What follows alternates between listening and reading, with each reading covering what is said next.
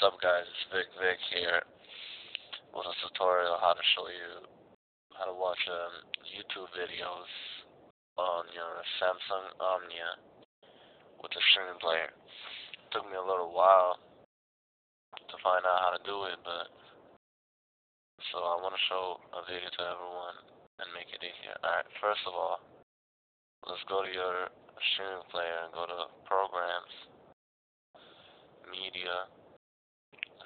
player, the menu options.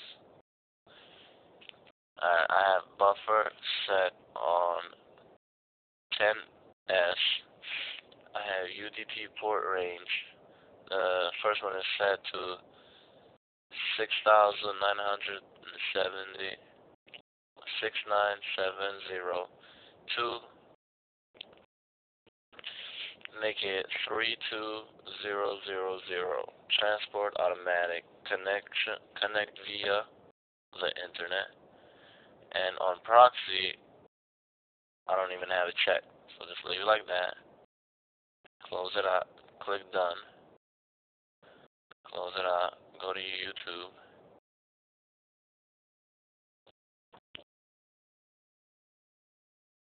Here we are in YouTube and this is one of my videos. Click there, click watch video. And it's buffering real quick. And then, it's turn on right now. Bam. Look at that.